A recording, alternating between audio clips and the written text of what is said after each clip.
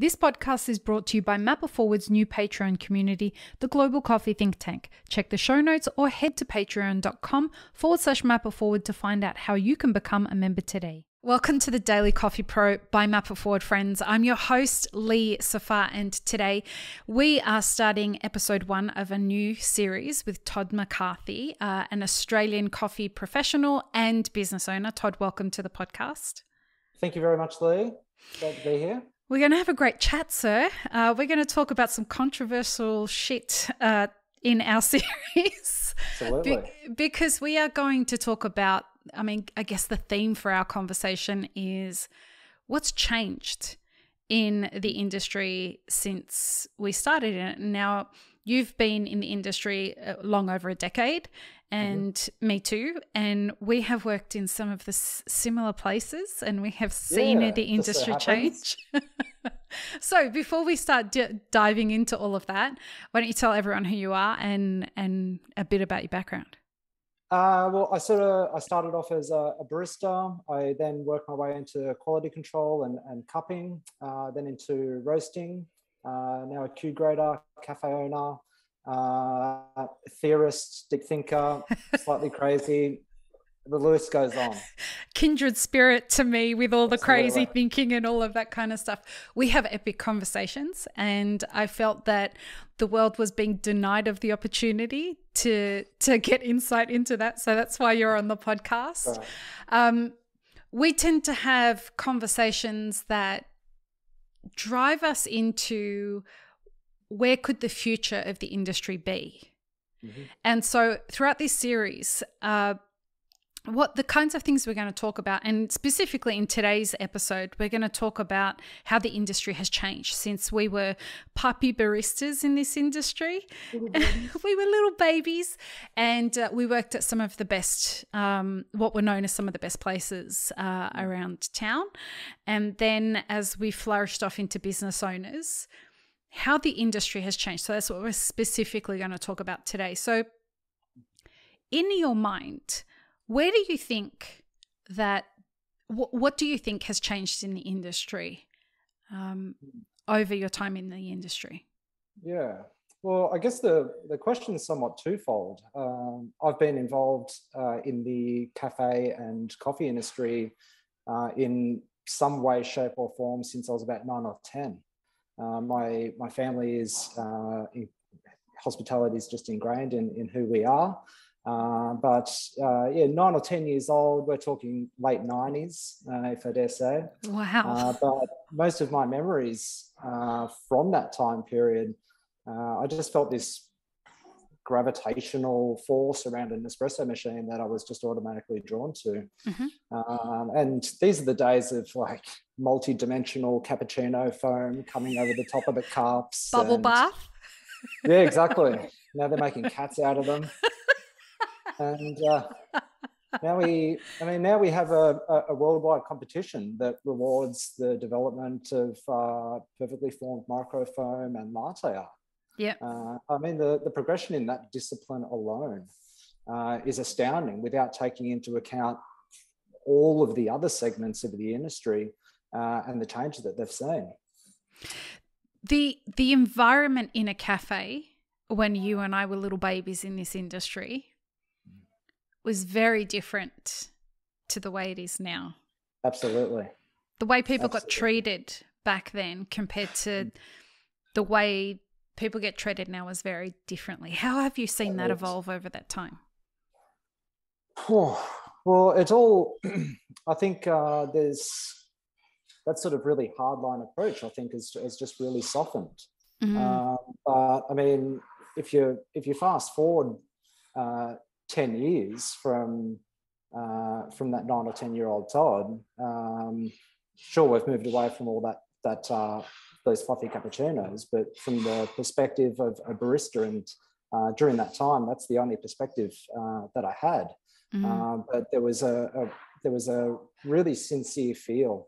Uh, there was something sort of really tactile uh, to preparing coffee, uh, and those environments. I mean, hey, they were they were harsh and they were brutal and they were they were fast paced and they were really challenging and they were really competitive and dysfunctional um, and aggressive yeah, all, all of all of them. They really were. Um, but and I'd hold on to most of the adjectives that I'd used to describe coffee back in those days. Mm. Um, but nonetheless, I mean, I, given even given the, the environment that we were working in, you still felt as if that it was a, a form of art. Um, there were there were no scales, and I mean, combine that with manual tamping, uh, and it just felt so right and so real, even though there was all of this craziness happening Chaos. around you. Um, but I mean, from the perspective of a barista, I mean, adding scales into the mix, I mean, that that uh, was a, game changer for lots lots of people, and, and those who were making coffee back in those days, uh, back in sort of yeah mid to mid to late uh, two thousands. Uh, it was sort of a sink or swim thing. Um, but what I know most about that time is that uh, we were really hungry for information. Uh, there was there was little literature. Uh, everyone had their own terminology. Everyone used different terms for absolutely everything that, that went in. Uh, and we're all just sort of scraping by uh, in, internally, uh, emotionally. Uh, yeah, I mean, it was all really quite difficult in, in sort of crazy environments like that. Uh, but we're, yeah, creating our own theories and executing thought experiments and uh, and if you were making coffee back then and, and you still are now, uh, you were a part of something that was crazy, scary, part fun. Uh, but the mentality uh, that was forged out of that period is that uh, is powerful, uh, is powerful, and I guess that that art has it's turned into into science really. Yeah, I remember. Um, I remember going to the United States for a tour that I was doing with the cast from Twilight for my music mm-hmm. career. And I was still working in cafes part time at that time mm-hmm. as a barista. And I remember going there and I was staying in Venice Beach. And in Venice Beach, uh, the, our, the closest cafe was the new Intelligentsia store. Okay. And I went in, when my team and I went in there um, I saw them weighing stuff. And I was like, what the fuck is going yeah. on here? I'm like, not only did it take them 20 minutes to make me a coffee, but yeah. you know, they're weighing everything and they're timing everything and they're doing what. I was working, uh, you know, by that point, I had worked in a lot of the same places that you had worked, and we didn't do any of that stuff. And Oh. You know, we were revered as some of the best cafes in, in the world. Um, but then I tasted their coffee and I was like, we really need to up our game.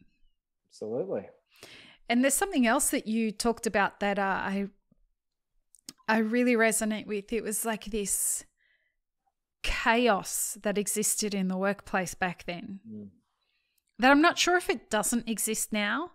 Um, I just know that it was so prevalent in cafes back then mm. that there was this disconnect between the chaos and as you said like this beauty about making kind of it, it almost felt spiritual when yeah. a group yeah, of people yeah. were working together as dysfunctional as it was when they got mm-hmm. into flow and you know you're making 2000 espresso based drinks a day mm-hmm.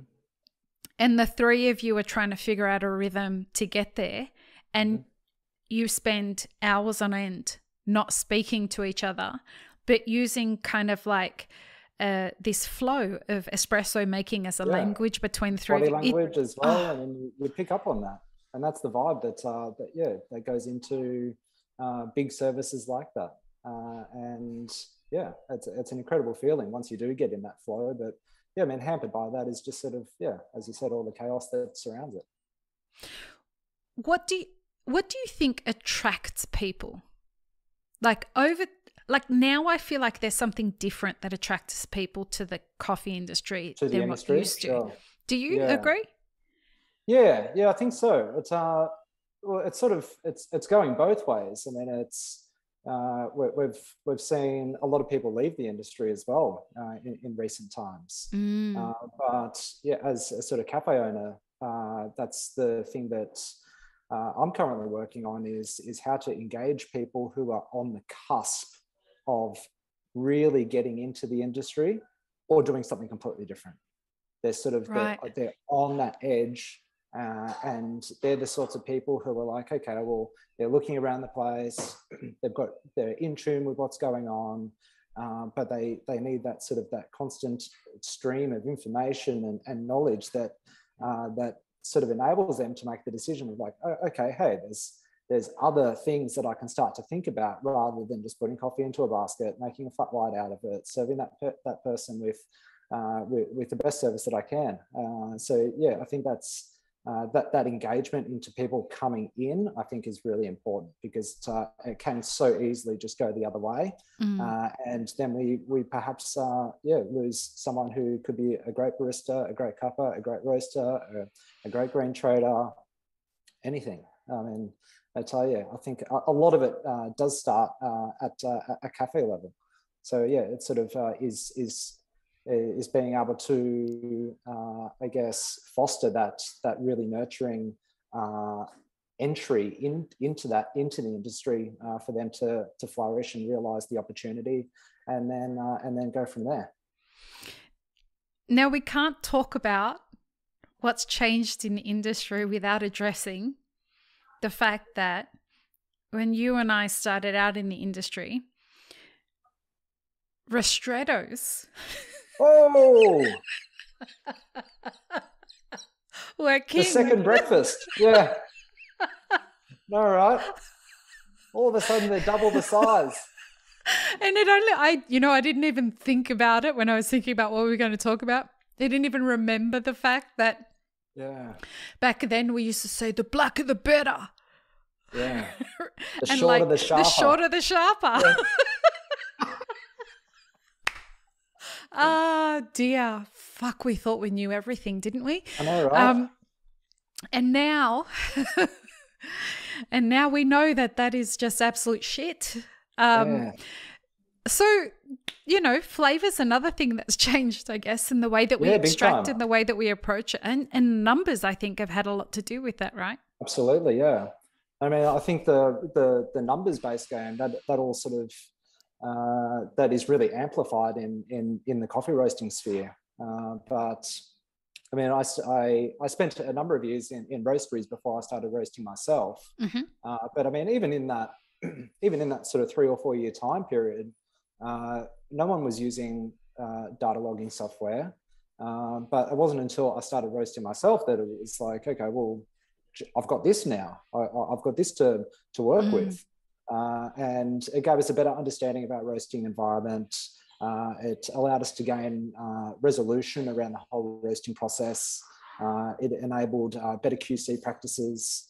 And I mean, don't get me wrong, I've got, I've got a huge amount of respect for those who, who still use a stopwatch and a, uh, and a clipboard. but this is the section of the industry that is ultra reliant on high quality data.